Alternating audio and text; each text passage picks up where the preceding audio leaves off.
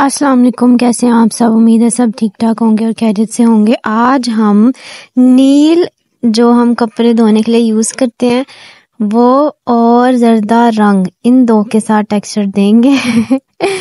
आप लोग भी सोचते हैं क्या अजीब सी लड़की है, कुछ ना कुछ निकालती है। लास्ट मैंने मेहंदी से दिया था, फिर उसके बाद मैंने टी टच दिया, आज मैं नील उठा लाई मुझे खुद को भी बहुत हँसी आती है। जो कोई नहीं करता, वो मैं लाजमी करती हूँ।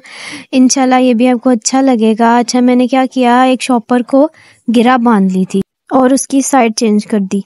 मतलब जो उसके अंदर वाली साइड थी, उसको बाहर लिया गिरा को हमने अंदर कर दिया, ठीक है?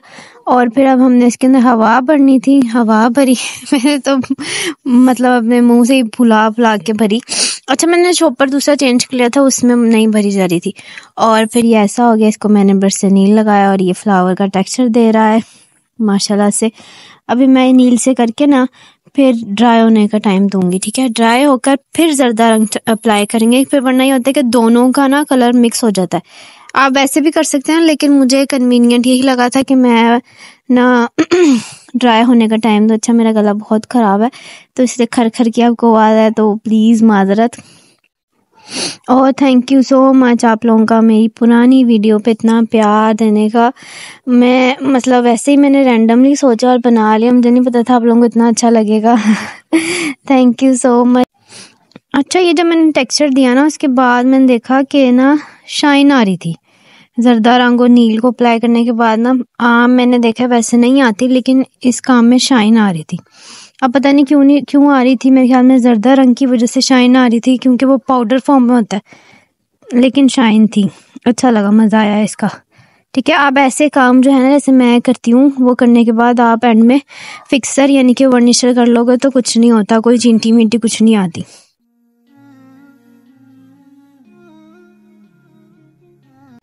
अच्छा मैंने वो दे दिया था अब वो ड्राई हो गया था ड्राई होके देखें लाइट कलर हो गया। अब हम जर्दा रंग करेंगे थोड़ा सा मैंने डाला और पानी ऐड कर लिया था और अच्छे से मिक्स कर सेम वही प्रोसेस था। उसी शॉपर से मतलब आ, मैंने टेक्सचर दिया था ठीक है? उसी को ही जैसे मैंने गिरा बांधी थी और फिर उल्टा करके साइड चेंज करके और फिर फ्लावर वैसे बन जाता है। तो मैंने जहाँ जहाँ मेरा दिल किया बहुत ज़्यादा नहीं किया हल्का हल्का किया क्योंकि मुझे पर्पल कलर ज़्यादा अच्छा लगता है। तो मैंने इसलिए हल्का हल्का किया। हाँ मतलब इतना डार्क भी नहीं है, इतना लाइट भी नहीं अच्छा लग रहा था। पर्पल और ऑरेंज का कंट्रास्ट वैसे भी अच्छा ही होता है, मज़े का होता है। अच्छा इसमें वैसे मैंने आज अलहमदिल्ला लिखना है। कुछ तबीयत ठीक ना होने की वजह से भी कुछ मेरा ना आज का काम ठीक मतलब मुझे मज़े मज़े का नहीं लगा।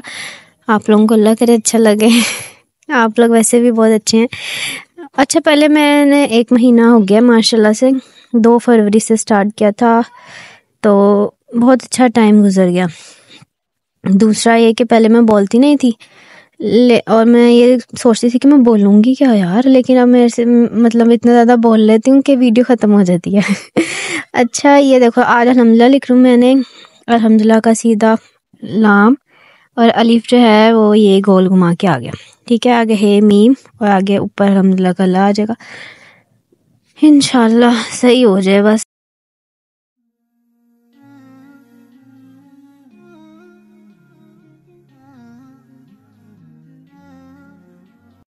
अच्छा अलहमदिल्ला लिख लिया, अब इस पे था कलर अप्लाई कौन सा करना है? मैंने सोचा ब्लैक पर मैंने कहा हर वीडियो मतलब ब्लैक से ही जा रही है तो ब्लैक नहीं करते। मैंने फिर ये ग्रे कलर जो मेरे पास आप यकीन करें, जब मैं गई थी ना वहाँ पे पेंटिंग कंपटीशन में, तब का परा हुआ है और अभी तक सेम बिल्कुल सही है। ये क्यों है? क्योंकि मैं इसको अच्छे से बंद करके रखती हूँ डब्बे के अंदर। आप लोग भी ऐसे ऐसे हैक किया करें, क्योंकि कलर बहुत महँगे हैं। इससे बचत हो जाती है, ठीक है? तो अलहमदिल्ला उसी से मैंने लिखा। और फिर ना, क्या किया था हमने? कुछ भी नहीं किया था अलहमदिल्ला लिख रहे थे। फिर मैंने सोचा अच्छा इसकी ना थ्री डी शेप की वजह इसकी आउटलाइन कर देते हैं। लेकिन मज़ा नहीं आया मतलब सही से। अच्छा टेक्सचर देने का मुझे मज़ा आया, ठीक है? और फिर मैंने आपको बताया शाइन भी आई। मेन रीज़न क्या थी? शाइन आ रही थी ना तो इसलिए जो काम है वो सही से नहीं हुआ मतलब कलर सही से नहीं हुआ, ठीक है? मतलब आउटलाइन जो थी वो ठीक नहीं हुई। वो क्यों नहीं हुई? क्योंकि ना, ये शाइन आ गई और थोड़ा सा ही फैल रहा था इस पर। दूसरी बात ये भी है कि मैंने अभी जितने भी काम किए ना, उसमें गीसू अप्लाई नहीं किया। उसकी रीज़न ये है कि भाई मैं सिखा रही हूँ, ठीक है? और सिखाने वाले काम में मेरे ख्याल में गिसू अप्लाई करना ज़रूरी नहीं है, ठीक है? आपने अगर देखो किसी को गिफ्ट करना है या आपने किसी कस्टमर को देना है, तब आप पूरा प्रॉपर काम करके दें। ठीक है? किसी भी चीज़ की गुंजाइश ना छोड़ें कि वो नाराज़ हो जाइए वो। लेकिन अगर आपने सीखना या सिखाना है तो गीसू मत अप्लाई करें। बहुत महँगे मटेरियल हैं। तो ज़रा थोड़ा अपना दिमाग चलाएँ और मटेरियल कम यूज़ करें। ठीक है? अब इसके बाद ना मैं इंशाल्लाह आप लोगों को फ्री साइज़ वाली जो कैलीग्राफी है, वो नकाशी जो कि मुझे बहुत मज़े की लगती है और मैं चाह रही हूँ हम लोगों को जल्दी जल्दी सिखाऊं। और दो तीन हैक्स सिखाऊँगी बैकग्राउंड के। सॉरी बैकग्राउंड के नहीं बॉर्डर्स के, ठीक है? बस। एक और मैं, एक दो और आपको सिखाऊँगी बैकग्राउंड सॉरी बॉर्डर्स के। बैकग्राउंड तो साथ साथ चलता है जैसे कि मैंने आपको तीन से चार बता दिए हैं, ठीक है? ये इजी घर की चीज़ों से मैंने आपको बताया। मेहंदी भी घर में मिल जाती है, चाय की पत्ती भी, अभी नील और जर्दा रंग में मिल जाएगा। जिस मर्ज़ी गाँव में हम बैठे हों, ठीक है? इजीली ये चीज़ें मिल जाएँगी। अब इसके बाद जो है टेक्सचर और जो है वो सही वाला दूँगी, ठीक है? क्योंकि अब सही वाली मतलब पेंटिंग की तरफ़ आते हैं। ये तो मैंने आप लोगों को ऐसा कि किसी के पास नहीं भी है, चलो दूर है, कोई नहीं कर सकता तो वो भी अप्लाई कर ले इजीली और ये हो जाएगा, ठीक है? अच्छा जे ज़बर पेश की मैंने, जो डाला था उसकी वीडियो नहीं बना सकी। ये मार्कर से आउटलाइन अप्लाई करी थी, लेकिन वही बात जो मैं आपको कह रही थी कि मज़ा नहीं आ रहा था इसमें ना रफ़ रफ़ सी हो रही थी। तो फिर मैंने कहा, रहने दो, छोड़ो भाई। फिर मैंने ना ब्रश से कर ली थी। मज़ा नहीं आ रहा था सही से।